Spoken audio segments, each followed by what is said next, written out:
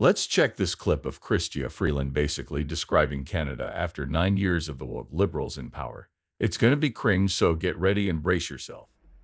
What kind of a Canada do you want to live in? Do you want to live in a country where kids go to school hungry?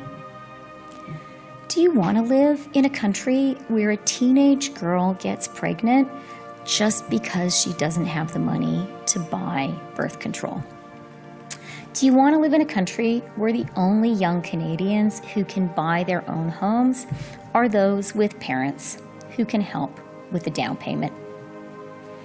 Do you want to live in a country where we make the investments we need in healthcare, in housing, in old age pensions, but we lack the political will to pay for them and choose instead to pass a ballooning debt onto our children?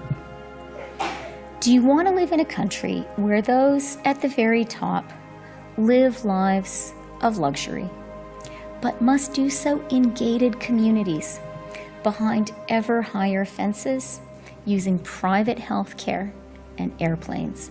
Because the public sphere is so degraded and the wrath of the vast majority of their less privileged compatriots burns so hot.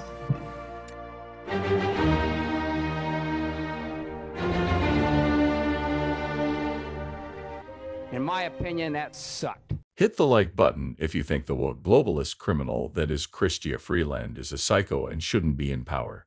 See y'all in the next one. Peace out.